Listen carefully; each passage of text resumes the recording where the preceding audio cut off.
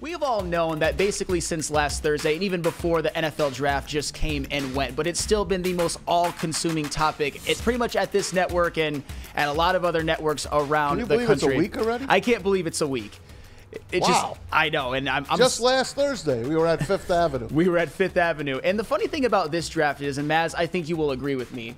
On first, when we first heard of the picks, I was on air with you during Yeah. the during the for the first round coverage for the last part of it. There were some mixed emotions, I would say. Oh, I yeah. would say that it kind of went down a little. It didn't go down easy, but as time has passed, as they did the second, third round, and the rounds and the later rounds, I think this draft has been easier to stomach as time has gone on. There is NFL Network's Scott Stomach is a Pioli. strong word. Yes, NFL Network's Scott Pioli. He loves what Brad Holmes and the Lions are doing. Hear what he says right now. Let's start here, Scott. With which general manager do you feel like sent the clearest with their draft haul? Hmm. Well, I think that Brad Holmes and the Detroit Lions sent a very clear message once again about how they want to build for now and how they want to build for the future. They are all about being a blue collar team. When you look at them in the first round, they picked a running back at number 12 overall to make sure that they can run the ball this year and in the future. That also led to the trade of DeAndre Smith, uh, Swift, that makes a lot of sense.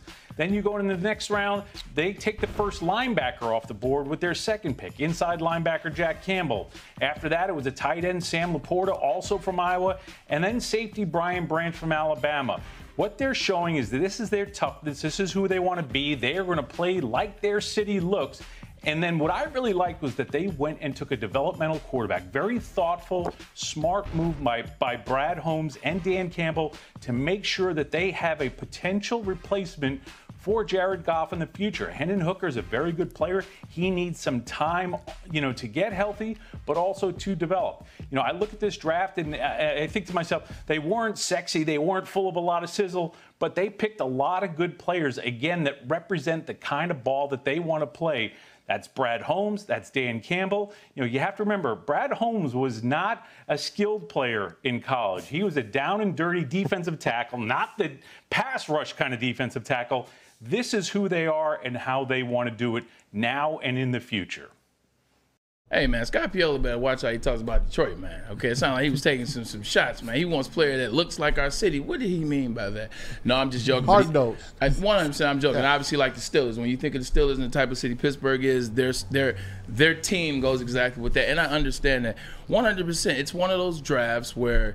You just have to take a step back and take a look at it. What's the goal here? What's the end game? Why these players? Why these moves? And they're definitely getting players that are gonna play. Definitely getting players that want to fit this mold. Definitely getting players that come to play and they'll get paid later. They're not worried about that. So I understand that.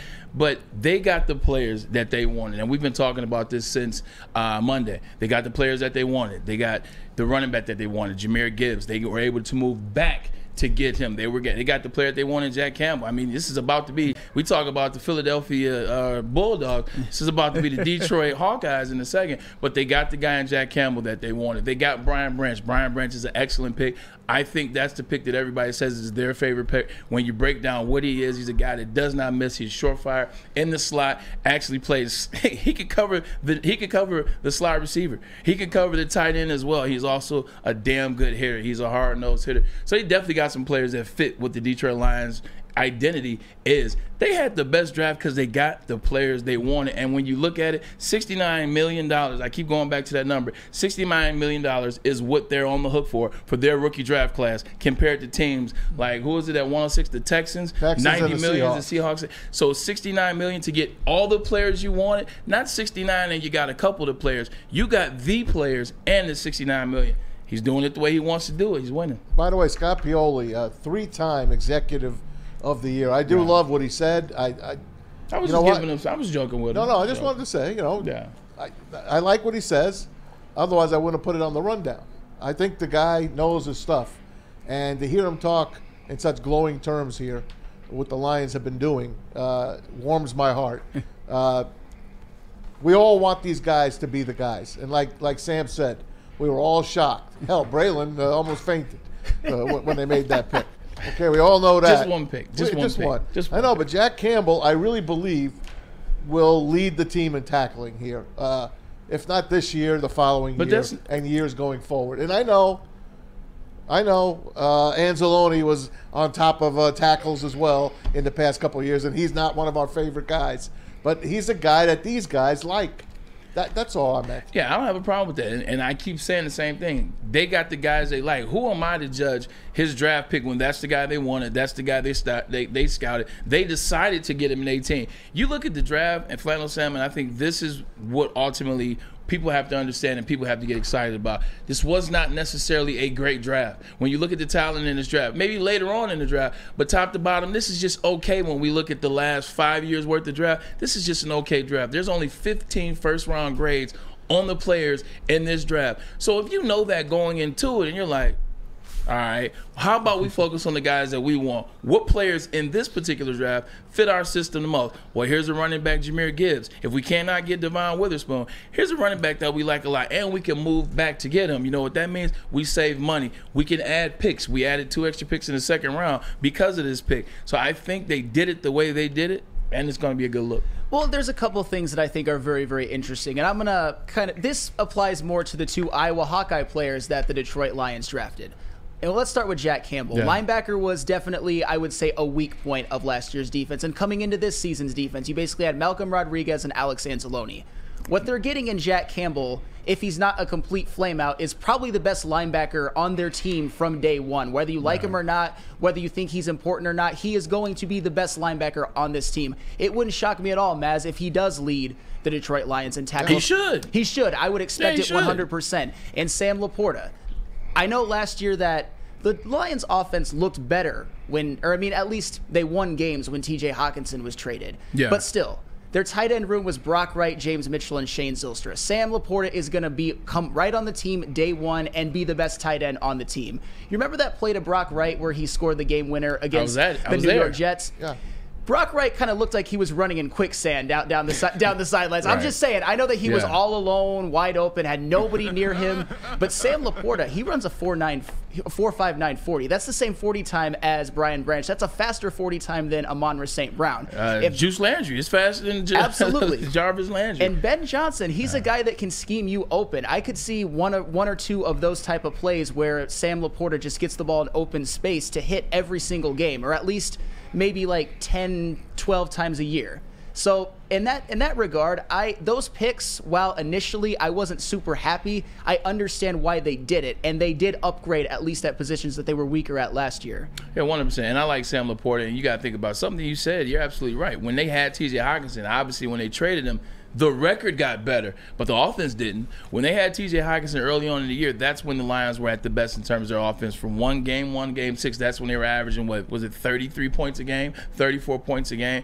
Now you add Sam Laporta. This is tight end you right now. You look at the tight ends that have come out of Iowa in the last, we'll say, eight years. These guys can ball in the league, and he's no different. He's been the best tight end in the Big Ten the last three years. I watched the game he's gonna be damn good. But the one thing too, it's about look at where the players were ranked in the draft that we got. Like when you start to look at it like that too, where was in terms of defensive uh defensive grade, where was Jack Campbell ranked? He was ranked he was ranked second behind Will Anderson Jr. Jalen Carter was ranked third. Where was Jahmyr Gibbs ranked? He was ranked the number one all around running back, the number two running back in terms of running to Bijan Robinson. You look at Brian Branch, he was ranked the number one all around defensive back in this draft. He was ranked the number two safety, if you will. These are great grades going to a draft. So if you're looking at a draft that wasn't that good, everybody's complaining about the players that were available, and you look at what the players that you got, a lot of I'm hearing a lot of best all around. I'm hearing a lot of number two overall. I'm hearing a lot. So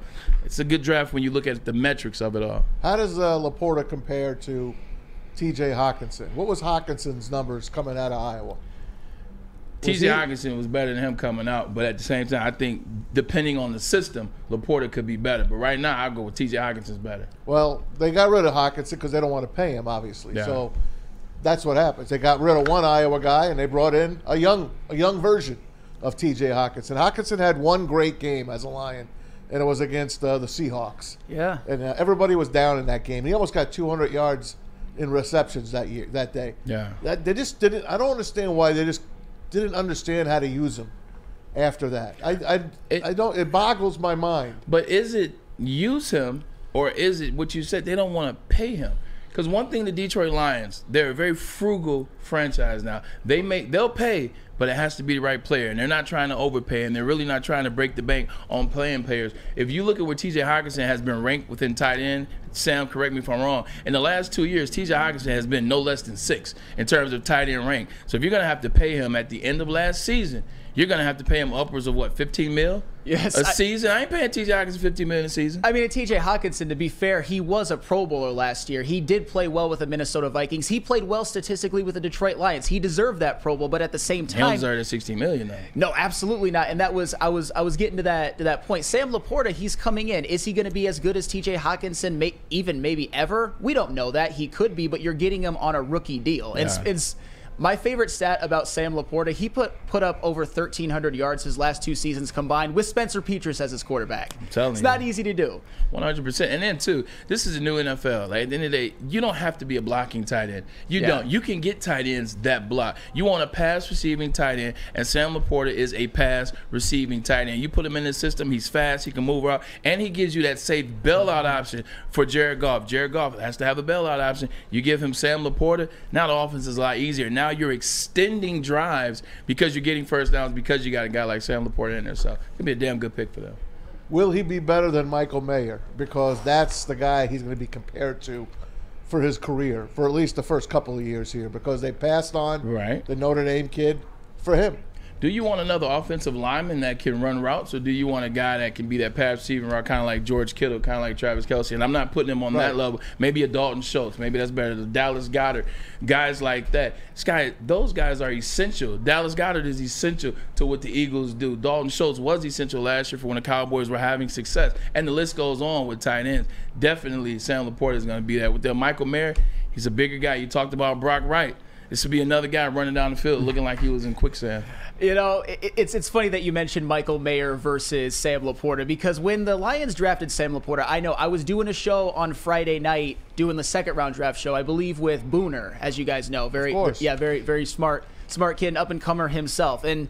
I wasn't super happy about it, but when they drafted Michael Mayer next, Yeah. again, that was another one where I was a little bit puzzled because I really liked Michael Mayer Yeah. coming out, and it and Michael Mayer was one of the best tight ends in college. He was more productive than than Sam Laporta, but Spencer.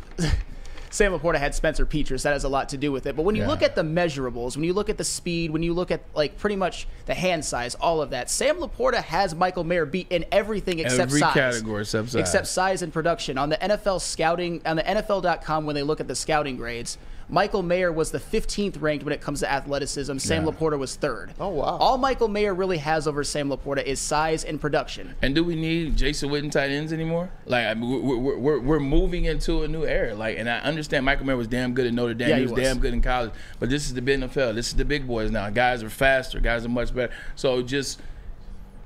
But I will say this. Let me let me let me let me say this. There are some picks. There are some things that when you watch this season, Brad Holmes is going to be under the microphone, our For sure. microscope for a couple of these moves. Jack Campbell cannot be a bust drafting him that high at 18. Sam Laporta, if Sam Laporta struggles and he doesn't look like Michael Mayer looks, that's going to be another one of those picks that you're like, man. So right now, although we support Brad Holmes, he's earned our trust for us to feel that way, and I still like the price points. I like what they did. But at the same time, he is under the microscope because there's still some head scratchers that we need to see for a full season. Oh, definitely. There's Yeah. kind of an element of this better work. Exactly. exactly. Hey, the other Yeah. comparison will be Jack Campbell against Calijah Kancey. Yeah, yeah, that was another guy that they Tampa Bay ran the card up.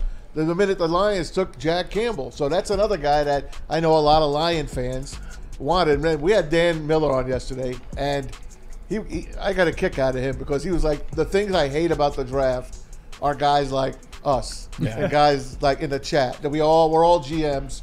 We all know better. We hear a name, Mel Kiper tells it to us, and we lock in on that name. So I'm just interested to see Jack Campbell and Calijah Kancey's careers. I may- yeah, I may listen. I may not know. I may not be a scout. I may not be a guy that watches film, breaks it down all the time, or I'm in a war room drafting. But I do know this. I know speed, And in 2023 in the NFL, speed is king, and that's what the 18th pick did not have. But I've been watching more film. Latter, was a little better than I thought it was, but we still will see because he damn sure ran 465. Lions fans. But you know who does have speed? The 12th and the 34th overall pick. And we'll talk more about them when we come up next. And also,